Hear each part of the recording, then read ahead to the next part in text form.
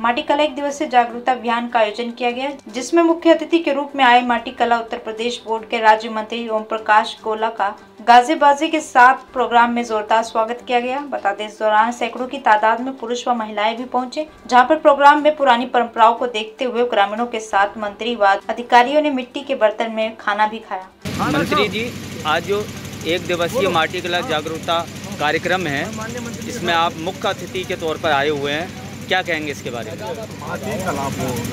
जी।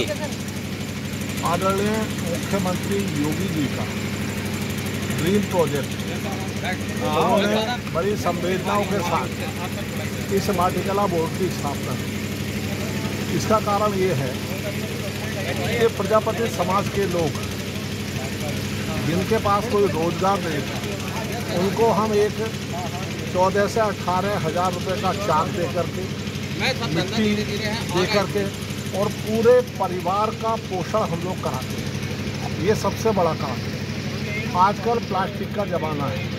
हमारा प्रयास ये है कि मिट्टी के पात्रों का प्रयोग करके हम प्लास्टिक का उन्मूलन करें।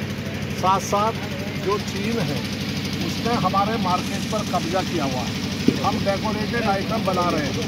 उसके माध्यम से हम चीन को इस भारत के मार्केट से पलायन करने के लिए मजबूर हैं। ये हमारा प्रयास है। उत्साह वर्धन बढ़ा रहे हैं आप माटी कला से।